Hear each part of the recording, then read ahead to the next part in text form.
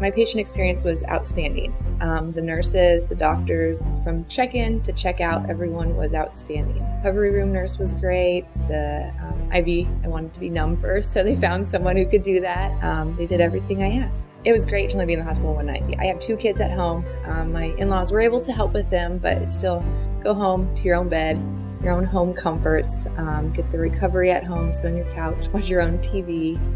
It was it was wonderful. With laparoscopic surgery and minimally invasive surgery, your recovery time is decreased immensely. Patients get back to work, get back to life at a much quicker rate than they would with open procedures. I love Dr. Suleman. Um, she's very personable. She will sit and talk to you. She'll get to know you on a personal level, not just in and out, see what the problem is and leave.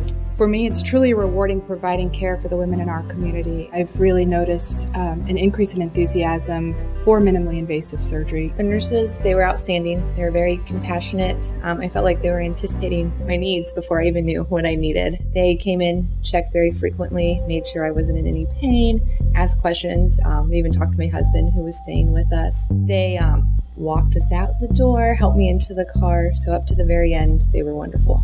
My patients who have undergone minimally invasive surgery are back to work in two weeks, anywhere from two to four weeks, whereas someone with an open incision, it would take a good six to eight weeks. Only really the first week afterwards was my recovery. I mean, had to take it easy after that, but ever since then, everything's back to normal and great.